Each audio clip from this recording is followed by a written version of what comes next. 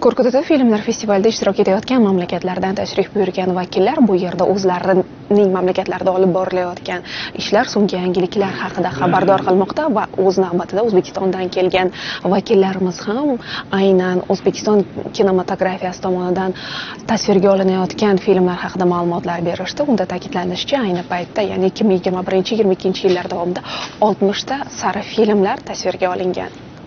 Yurtdoshlarimiz shuningdek tasvirga olingan kino mahsulotlarining qaysi yo'nalishlarda ekani haqida ham ma'lumotlar berdi.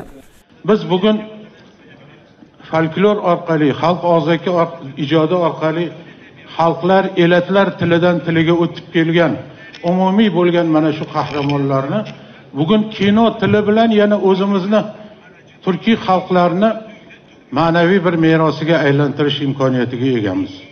Bu imkoniyatni qo'ldan bermasligimiz kerak. Va shu ma'noda aynan ana shu qahramonlar haqida umumiy bir hamkorlik filmlari yaratish nihoyatda muhim deb o'ylayman festivalda ishtirok etayotgan qozog'iston kino ustalari o'zbek latifa qahramoni afandi obraziga murojaat qilganini ko'rsatdi. Xususan yuz qismdan iborat kino mahsulotida afandi tilidan jamiyatdagi kamchilik va muammolar namoyish etiladi.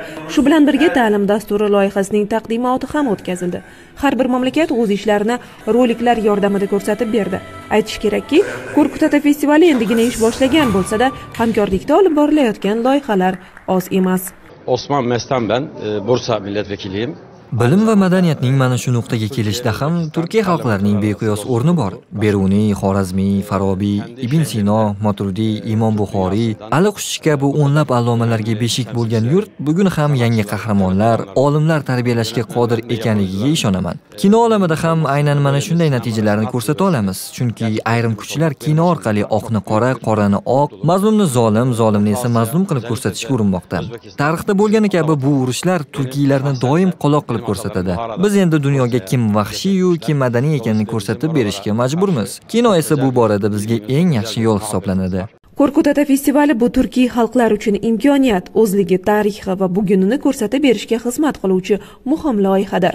Kelgusida uning dovrug'i yanada keng yoyilishi nufuzi oshishi kutilmoqda. Bu kun zilola ubaydullayeva lutfullo ibrohimov turkiya.